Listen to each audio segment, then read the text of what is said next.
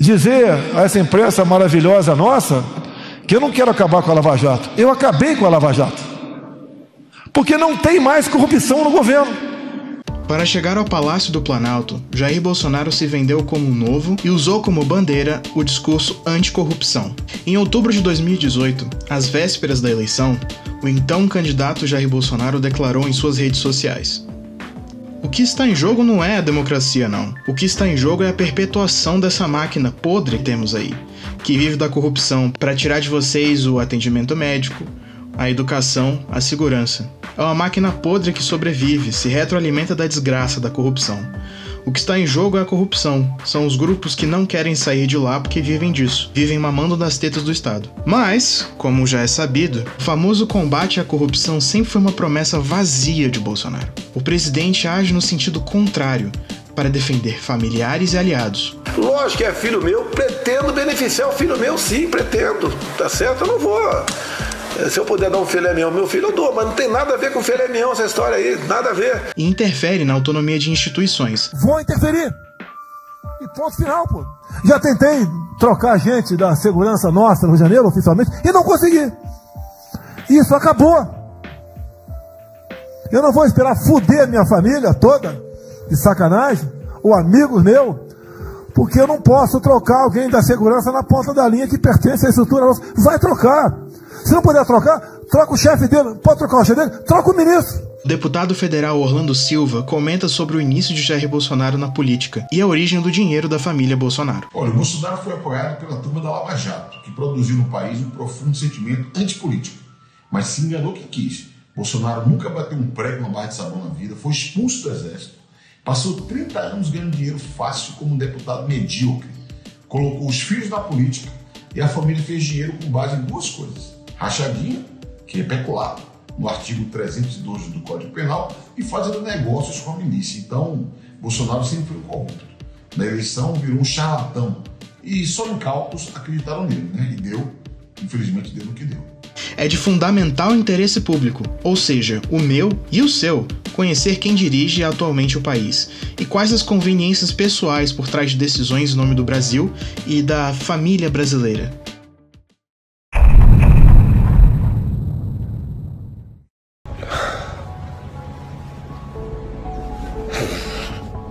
Esse aí é o senador Flávio Bolsonaro, filho primogênito 01 de Bolsonaro. Desde 2018, Flávio Bolsonaro é investigado por um esquema de desvio de salário de seus funcionários, de quando foi deputado na Assembleia Legislativa do Estado do Rio de Janeiro. A suspeita é que ele tenha desviado 6,1 milhões de reais de 12 assessores entre os anos de 2007 e 2018. Parte desses recursos abasteceram as contas de seu antigo braço direito, o ex-policial militar Fabrício Queiroz. O esquema é batizado de rachadinha. Nesse esquema de rachadinha, 607.552 operações bancárias bancárias de 100 pessoas foram implicadas. E isso é só mais um elemento na caixa de Pandora da família Bolsonaro. O Ministério Público do Rio de Janeiro afirmou que Flávio Bolsonaro chefiava uma organização criminosa, com especialidade em roubar e lavar dinheiro público. Em nota, o MPRJ afirma os crimes. As provas permitem vislumbrar que existiu uma organização criminosa com alto grau de permanência e estabilidade entre 2007 e 2018,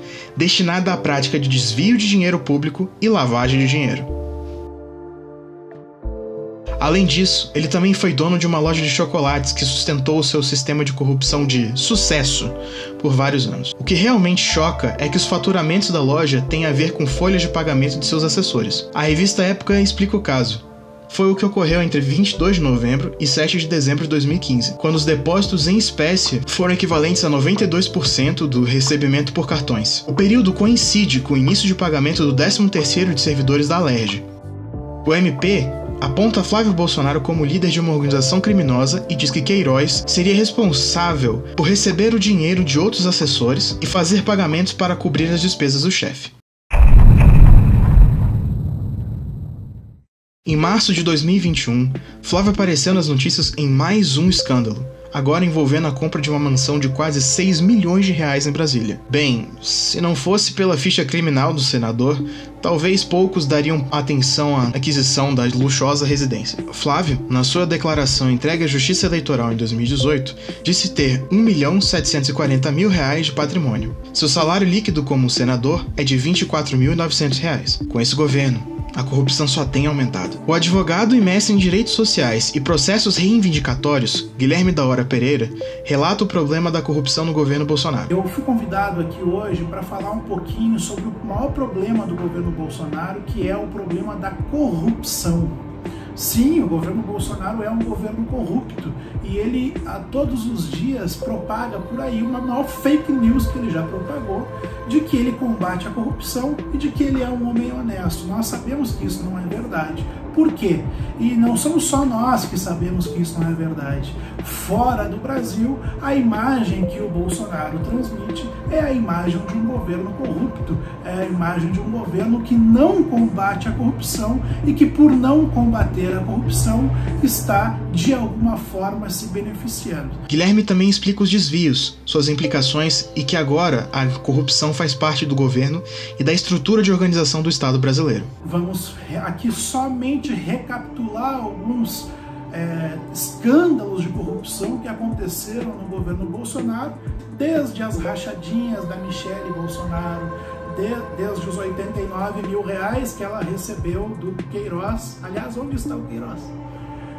E desde as rachadinhas do Flávio Bolsonaro, a filha do Queiroz, que era funcionária fantasma do gabinete do Flávio Bolsonaro, o orçamento secreto né, para os aliados do Bolsonaro na Câmara dos Deputados e no Senado Federal. E agora, mais recentemente também, né, as invasões de terra, o garimpo ilegal nas terras indígenas do Bolsonaro, que diz que defende a propriedade, desde que a propriedade não seja de indígena nem de quilombola. Aí pode invadir à vontade que o governo federal aprova. E também os, os escândalos de corrupção envolvendo os desvios de madeira ilegal do ministro Salles, né, que antigamente, nos governos passados, qualquer problema que eventualmente existisse, qualquer denúncia envolvendo o ministério, rapidamente os ministros eram investigados e, se fosse o caso, desligados dos seus ministérios. Agora não. Agora quando há um escândalo de corrupção envolvendo qualquer ministro, o Bolsonaro bota o um ministro embaixo do braço, protege aquele ministro e defende ele. Por quê? Porque a corrupção agora faz parte do governo, faz parte da estrutura de organização do Estado brasileiro. Para falar dessa parte, eu preciso falar o nome dele de novo. Lembra do Queiroz? Cadê o Queiroz? Calma, Atualmente ele está em prisão domiciliar. No ano de 2018, o nome da primeira-dama, Michele Bolsonaro, apareceu nas investigações pela primeira vez, envolvido com depósitos em cheques que somaram 24 mil reais, realizados por Queiroz no esquema das rachadinhas. Na época, o presidente justificou as transferências. Disse que havia emprestado dinheiro ao Queiroz e que os depósitos na conta da mulher eram parte do pagamento dessa dívida. Não foi por uma, foi por duas vezes que o Queiroz teve dívida comigo me pagou com cheques. E não veio para minha conta esse cheque porque eu simplesmente deixei no Rio de Janeiro. Não estaria na minha conta.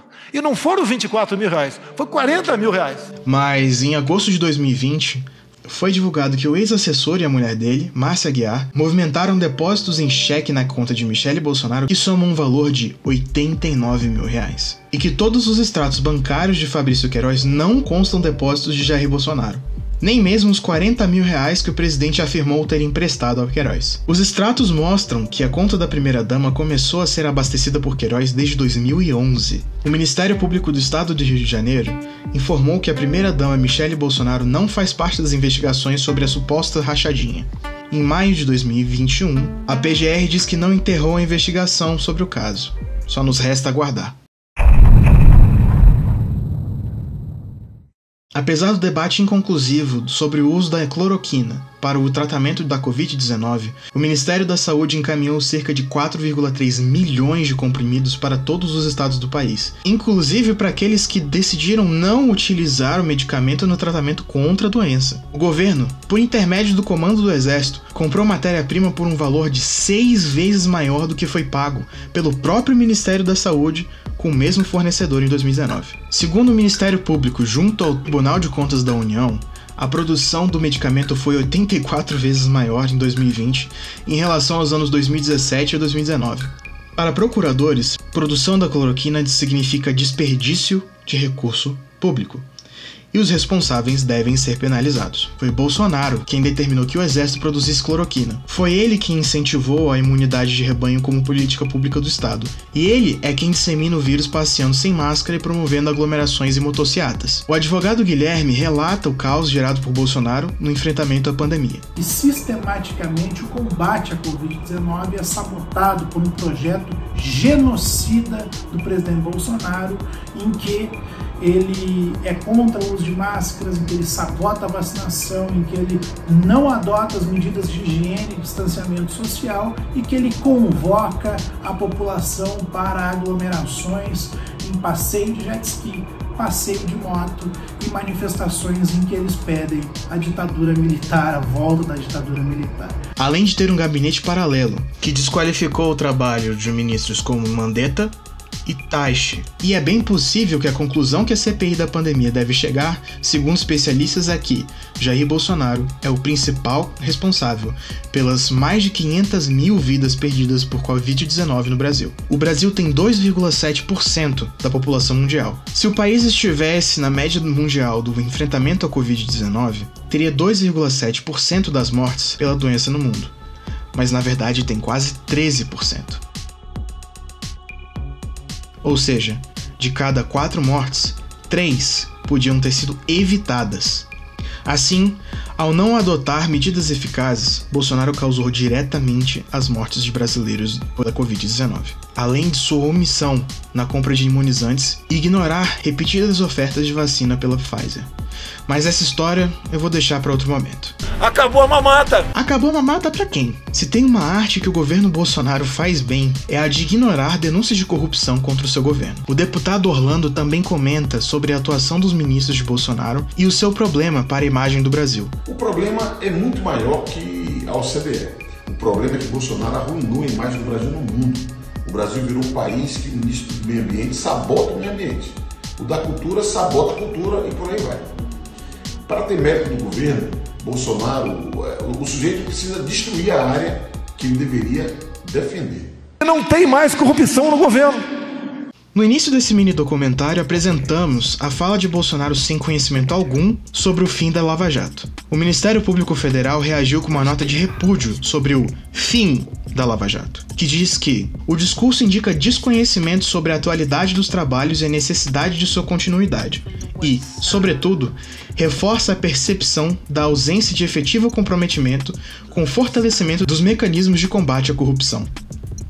A Lava Jato é uma ação conjunta de várias instituições de Estado do combate a uma corrupção endêmica e, conforme demonstram as últimas fases dos trabalhos, ainda se faz essencialmente necessária. Vale lembrar que não são apenas esses os casos de corrupção no governo Bolsonaro. Casos como a facilitação de garimpo e a madeira ilegal, além da nomeação de Augusto Aras para o comando da Procuradoria-Geral da República, a compra milionária de leite condensado e o famoso orçamento secreto, também conhecido como tratoraço ou desvio de dinheiro, para simplificar, entre outros casos.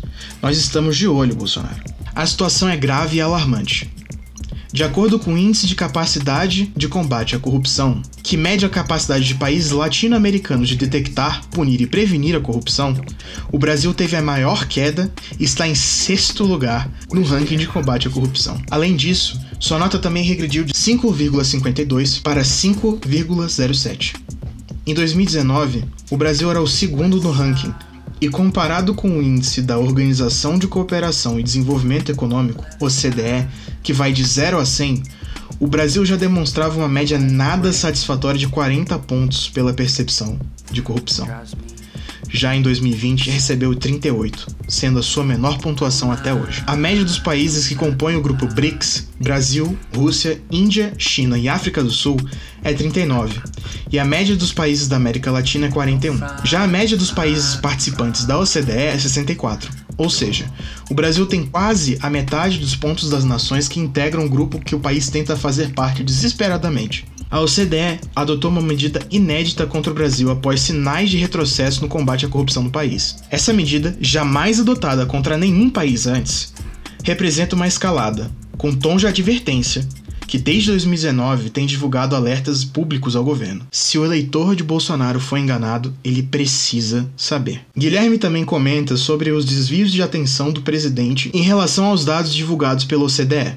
Inclusive, pessoal, é, nós temos que chamar a atenção tá, que boa parte dessas declarações polêmicas do Bolsonaro, né, dessas bobagens que ele sai falando em lives e pela internet, é para desviar a atenção de alguns é, algumas derrotas que ele vem sofrendo no âmbito principalmente internacional também.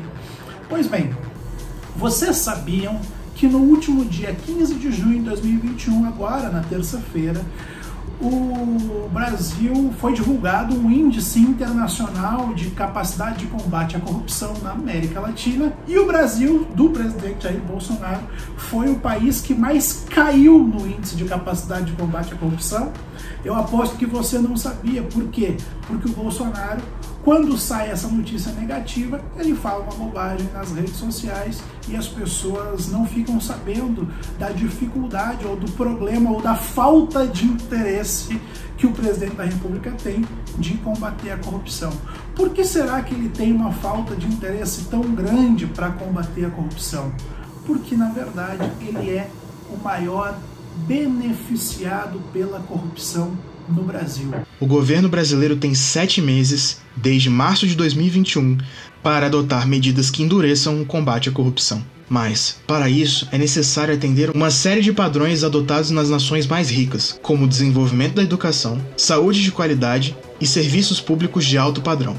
Medidas que não são valorizadas de forma alguma pelo governo Bolsonaro. O Brasil precisa se desdobrar para provar que atende os padrões necessários para fazer parte do grupo. E conseguir essa vaga resultaria na maior atração de empresas para gerar empregos e produzir em solo nacional. É importante identificar que Bolsonaro e corrupção andam juntos. E que a mamata nunca acabou para ele nem para a família dele. Guilherme relata sobre o maior problema da corrupção para o país atual e como acabar com a corrupção no governo. Nós não podemos tolerar que a corrupção vire um mecanismo de governo como virou no governo Bolsonaro. É importante que as pessoas percebam que Bolsonaro e corrupção são que nem queijo com goiabada, eles andam juntos. Então, o que, que nós temos que fazer é separá-los, separar o Bolsonaro do poder, separar o Bolsonaro da presidência. Somente assim e somente tirando o Bolsonaro da vida política do Brasil, nós vamos conseguir nos ver livres da corrupção. Nós vamos conseguir nos ver livres dos desvios e das mamatas que ele está trazendo para a família dele, enquanto o Brasil volta para o mapa da fome, enquanto o Brasil enfrenta problemas de desmatamento, enquanto o Brasil vem sendo sistematicamente prejudicado internamente e externamente com o encarecimento da vida, com a gasolina subindo, com a inflação voltando, com a fome voltando para o país e com milhões e milhões de brasileiros desempregados tentando sobreviver no meio dessa selva em que somente o presidente da República está ganhando com esse tipo de descontrole, de desgoverno e de corrupção instalada nos mais altos cargos do poder aqui em Brasília. Sim, a melhor forma de vencer a corrupção no governo é separar Bolsonaro e sua família do poder. O deputado Orlando finaliza apresentando as duas principais preocupações de Bolsonaro e a falta de competência do presidente. Bolsonaro fez tudo o que acusava mentirosamente a esquerda de fazer. Ele acabou com a autonomia da Polícia Federal para investigar, porque precisa blindar os filhos, senão vão acabar presos. Estão todos enrolados. Até o caçula já está seguindo o descaminho da família. O ministro do Meio Ambiente está envolvido com contrabando de madeira.